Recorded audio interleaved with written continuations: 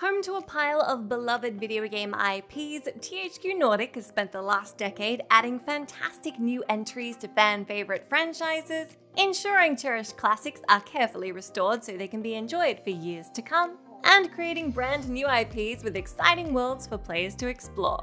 I'm Jess, and we're here to celebrate THQ Nordic's 10 year anniversary by taking a look at 10 iconic titles from the last decade. Make sure to drop your favorites down in that comment section. Number 1. Wreckfest.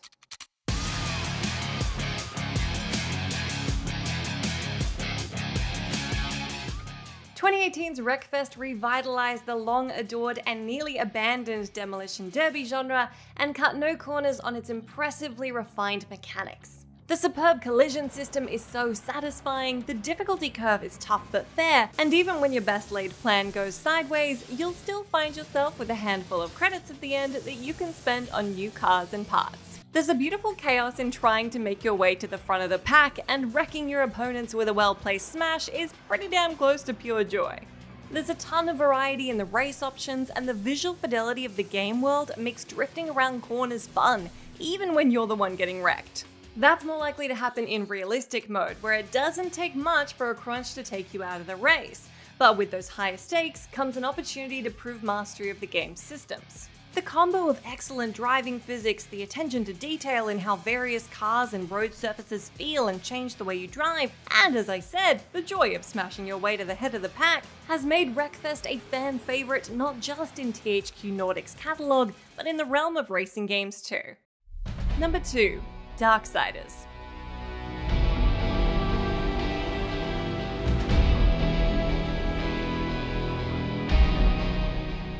Now there's no way we could talk about THQ greats and not mention the legacy of fantasy hack and slash series Darksiders. The first game arrived in 2010, introducing us to absolute badass War, one of the four horsemen of the apocalypse. With its striking art style, engrossing story, and fluid combat, accompanying War on his quest to clear his name after being falsely accused of bringing about the apocalypse early is a journey we're super keen to be on.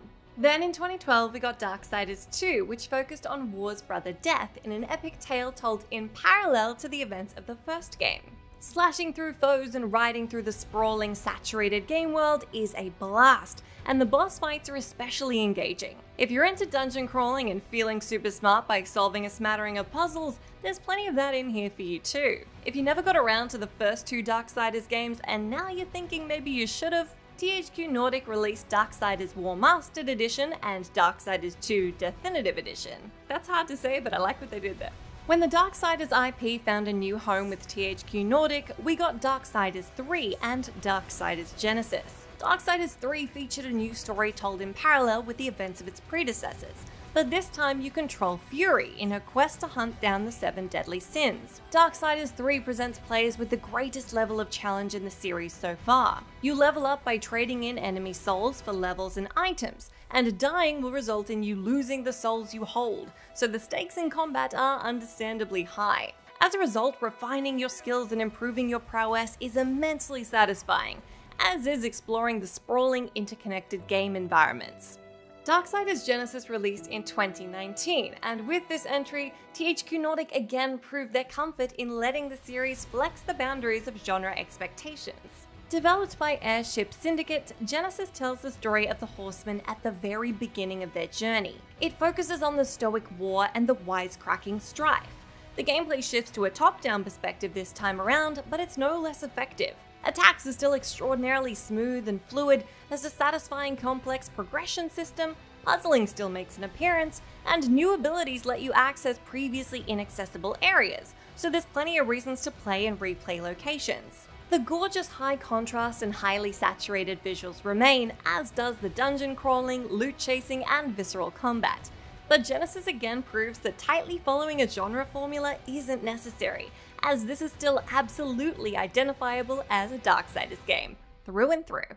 With its chaotic and colourful world, dense dark fantasy narrative, exciting combat, and ability to lean comfortably into so many different genre styles, it's no wonder that Darksiders has absolutely established itself as a cult classic. Number 3. Destroy All Humans Get used to that phrase cult classic because it's gonna come up a lot. This time in reference to the tongue-in-cheek, incredibly silly but absolutely delightful Destroy All Humans. For the uninitiated, Destroy All Humans is an open world action adventure that was first released in 2005 and puts you in the little grey shoes of Crypto 137.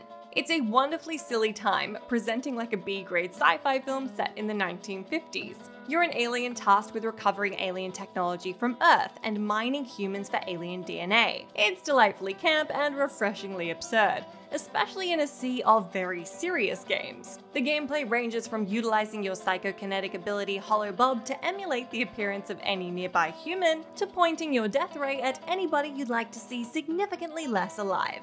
The latest entry from 2020 remastered the original and was highly appreciated by fans for respecting and recreating everything that was great about the original and being unashamedly silly and fun. The unique setting and gameplay mechanics make it very clear the intention is, in essence, to provide a great sandbox to play in, and it definitely succeeds at that. There are puns and references abound, and the bizarre tone of the game has had a lot of players appreciating this wonderful example of a game that doesn't need to take itself quite so seriously. Number 4. Elex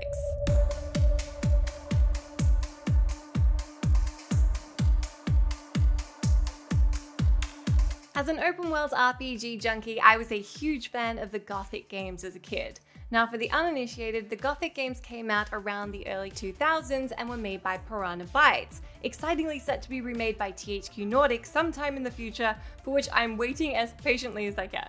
Cult classics Gothic 1 and Gothic 2 are often cited by fans as their all-time favorite RPGs, and for good reason. The world building and lore are deep and engaging, the experience of playing is especially immersive, and the open world design has received significant praise for respecting the player's intelligence and agency. In 2009, Piranha Bytes developed a new series called Risen, a gorgeous spiritual successor to Gothic where, like all good RPGs, you begin the game washed up on a beach with only the clothes on your back. It's up to you to decide where you go from there. Fast forward to 2017 and Piranha Bytes teamed up with THQ Nordic to create Elex, a new RPG set in a post-apocalyptic sci-fi universe.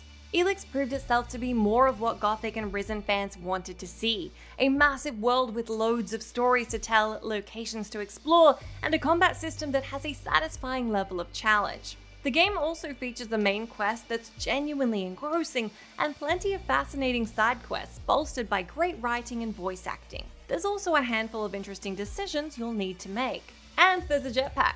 We can't forget the jetpack. Alongside the impressive character progression pathways, consistent rewards for exploration, and wonderful atmosphere we've come to expect from the studio, this one is a must play. THQ Nordic has also announced that Elex 2 is on its way, so that's absolutely one you're gonna want to keep an eye out for. Number 5. The Book of Unwritten Tales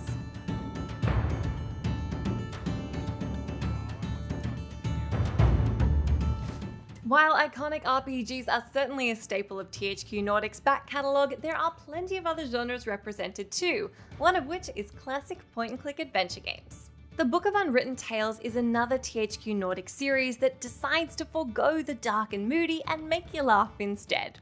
Well, it'll make you laugh and think, which is kind of the duality of every great point-and-click adventure game if you ask me. Developed by King Art, this gorgeous 2012 adventure and its sequel, which arrived in 2015, have a wonderful sense of humour, combined with some fantastic puzzles. If you've hit adventure game fatigue over those adventure games where everything seems to be life and death and you just want to go back to when everything was outrageous and silly, this is absolutely the series for you.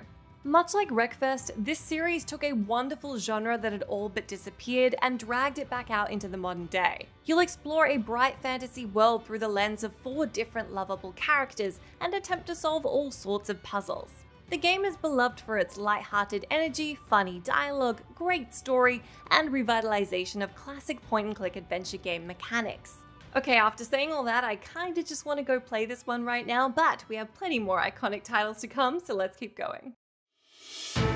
Number 6. Titan Quest Anniversary Edition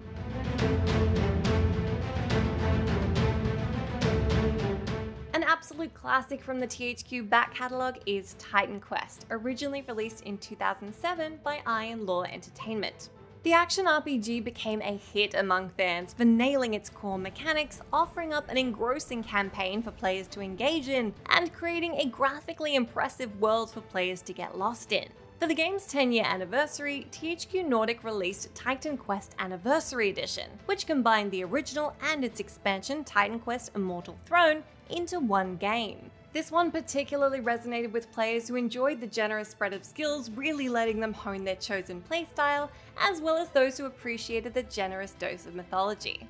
Players who enjoy isometric dungeon crawlers will be right at home with this one. The gameplay is really solid and the story is especially interesting as it steps away from the familiar D&D style setting that gamers have already seen time and time again. Exploring the environments is exciting, the loot chase is rewarding, and the new edition is absolutely packed with content, especially with the Ragnarok and Atlantis expansions. The replayability factor here is also super high, which is handy because if you played this one once, I'm guessing you're probably going to want to play it again.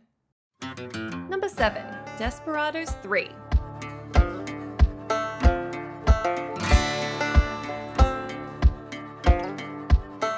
2001 brought us Desperados Wanted Dead or Alive, which was a real-time strategy game very reminiscent of Commandos behind enemy lines. The game had you control six characters in a Wild West setting who were trying to stop a notorious villain called El Diablo. Desperados 2 Cooper's Revenge released in 2006, delivering another dose of the series to fans, but they'd have to wait over a decade for Desperados 3. The third installment was developed by Mimimi Games and published by THQ Nordic. Luckily, patient fans were absolutely rewarded as the game was just what they were after. This time around, you controlled five characters and the game is set before the events of the first game. Each character has their own distinctive personality, and they all possess a range of unique skills that usually need to be combined in the right manner to resolve an obstacle and move forward. Each highly tactical scenario gives you access to different characters, so you'll have to be flexible in adapting your approach. The graphics are gorgeous, the tone is refreshingly light as characters often banter with one another, and the stealth mechanics in particular provide players with a solid amount of challenge. If you're a fan of turn-based tactical games and you happen to have a soft spot for the Wild West, this is definitely one to keep on your radar. Number 8. MX vs ATV Supercross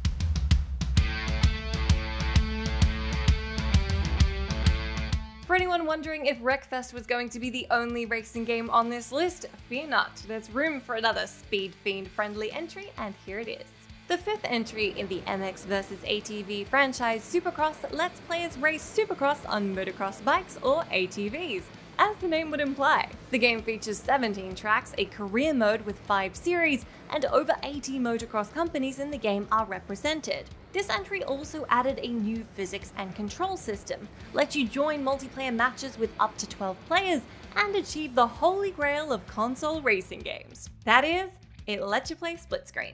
With sprawling options for customization and a great soundtrack, racing your mates or other opponents on the track is pretty darn fun. Not to mention the Encore Edition released in 2015, which added twice as many tracks, a new rhythm racing mode, remastered audio, and 20 more professional riders to test your mettle against. The game ensures players get the sensation of realistic racing while still helping beginners ease their way in. For old school fans of the series, there is a hefty dose of nostalgia to be found here. Number 9. Spellforce 3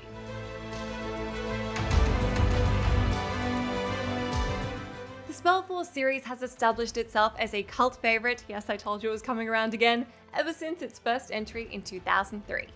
The series is marked by its combination of real-time strategy and role-playing gameplay. The High Fantasy series has seen various developers and publishers throughout its mainline entries and expansions. The most recent mainline entry, Spellforce 3, was developed by Grimlore Games and published by THQ Nordic. The game originally hit PCs everywhere in 2017, though an upgraded version called Spellforce 3 Reforced is due to arrive on current and last generation PlayStation and Xbox consoles, as well as their old favourite PC. Spellforce 3 takes place in 518, before the events of the first game.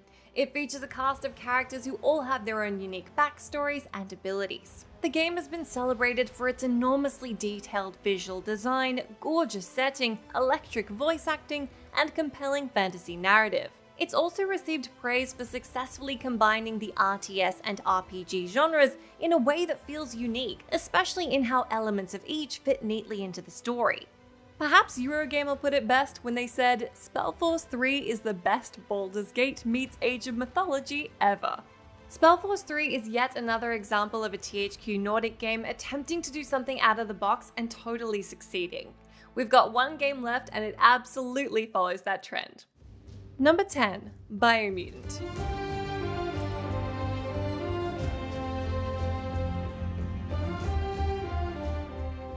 It's only sensible that our final entry be the most recent iconic THQ Nordic title and one that I did a playthrough for on their YouTube channel.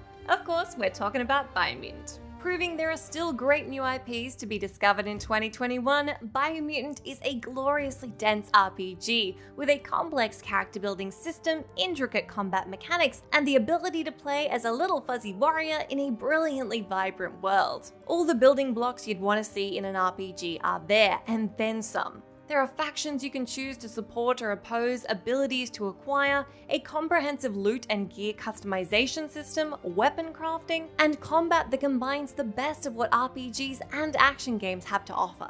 Success in combat is achieved by optimizing your character sheet, picking the best weapon for the job, and executing attacks that can be learned as you progress through the game. Honestly, even that is just the tip of the iceberg between its engaging main story, rewarding exploration, and just sitting back to enjoy the extremely pretty world, this is absolutely a game to get delightfully lost in.